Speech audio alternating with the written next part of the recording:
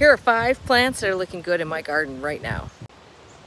Wizard of Oz Dahlia is a ball dahlia and those are all doing pretty good. My big dinner plates haven't started blooming yet, but this one is just pumping out the flowers like crazy. Millennium allium is a perennial allium that is just starting to flower. As soon as all those little buds open up, it'll be a bright pink and insects will be just loving it. This pagoda dogwood that I grow in a pot is absolutely full of fruit that's starting to ripen. It's so pretty and the birds are just gonna love it. Tough Stuff Hydrangea is really putting on a show this year couldn't be any prettier than these flowers up here. Um, just love that blue center and the sort of the pink uh, bracts on it.